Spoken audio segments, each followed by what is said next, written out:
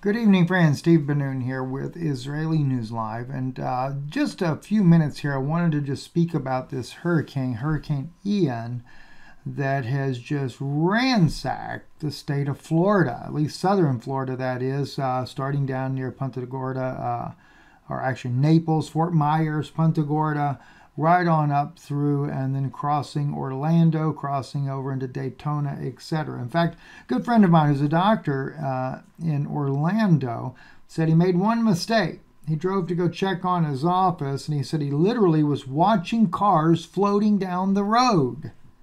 That's how crazy this storm is. Now, officially, uh, they put this as a category four. However, in the news sources there, they are saying that it's probably going to be upgraded to a category five.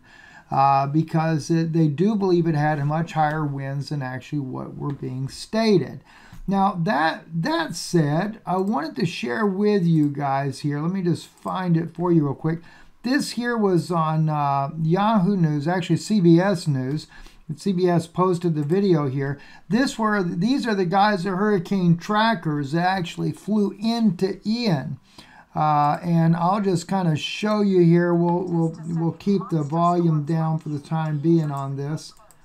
But uh, as the as the guys were flying into the storm there, they said it was the worst they had ever flown into. The worst storm ever. This was extremely dangerous for these guys uh, flying into it. And what they were doing, though, is they were going to deploy a drone, uh, a special drone, that's the drone right there, into this storm so they could track. Now, it looks just like a tube, but what happens is when that tube is deployed, the wings and everything pop out of the tube, etc., and then they're able to fly into the eye of the drone and literally track what's going on. Listen to what they say though. This gets really, really weird. It's deployed out the bottom of the plane, and its mission is to no aircraft or scientists can go. The so-called boundary layer where the air and the ocean violently meet, below 3,000 feet. So when these systems make landfall, we want to know what's going on in that very critical boundary layer so we can forecasters and emergency managers make the decisions they need to make.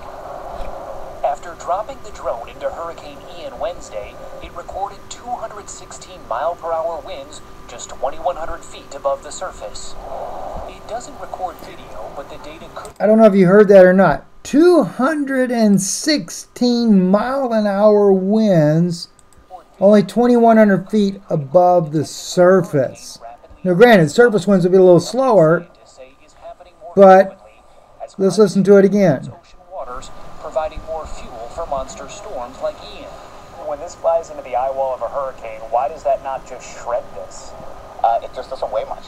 And we're also going to be flying with the wind. We're not trying to fight it, we're trying to go with it.